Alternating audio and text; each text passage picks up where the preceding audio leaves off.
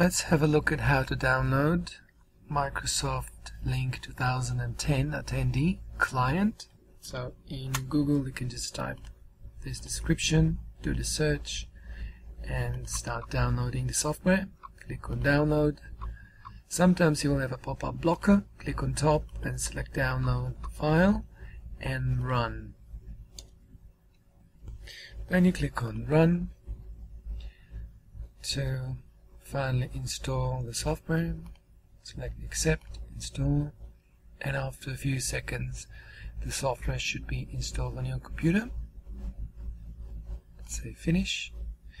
Now let's try to find this installed software. Well, the attendee, you can see it here on the list.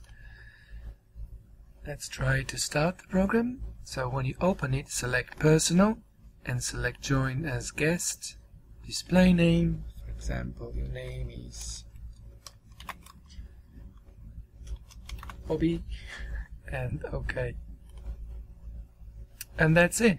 So when somebody sends you the invitation to a Lync meeting, uh, you follow the link from your email, which will start the attendee program and uh, log you in. And you will be in the lobby waiting for your organizer or presenter to allow you access. And that's it.